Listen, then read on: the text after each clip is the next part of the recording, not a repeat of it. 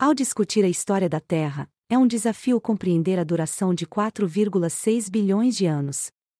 Para tornar esta imensa linha do tempo mais gerenciável, os geólogos desenvolveram o que é conhecido como escala de tempo geológico. A escala de tempo geológico é um calendário da história da Terra baseado no registro rochoso da crosta terrestre.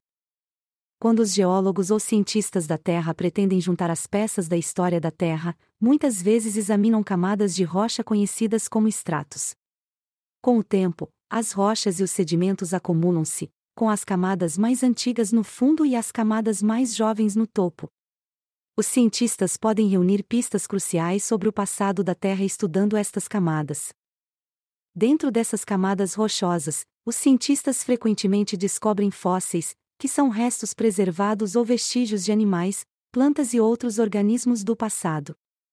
O tipo de fósseis encontrados numa camada pode nos dizer muito sobre a vida que existia quando essa camada foi formada. Por exemplo, encontrar um fóssil de dinossauro indica que a camada era criada na época dos dinossauros.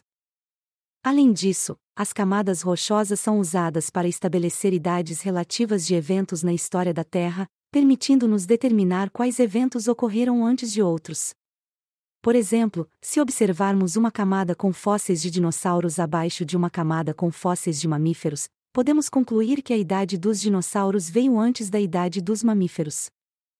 É importante observar que, embora esse método ajude a determinar a sequência de eventos, ele não fornece datas ou durações precisas desses eventos. Consequentemente, fornece um cronograma relativo em vez de absoluto. As diferentes camadas e os fósseis que contém também oferecem evidências de eventos significativos na história da Terra, que vão desde a formação de cadeias montanhosas e bacias oceânicas até a evolução ou extinção de espécies específicas e erupções vulcânicas significativas. Ao colocar com precisão estes eventos na escala de tempo geológico, compreendemos melhor o passado da Terra e a sua história evolutiva.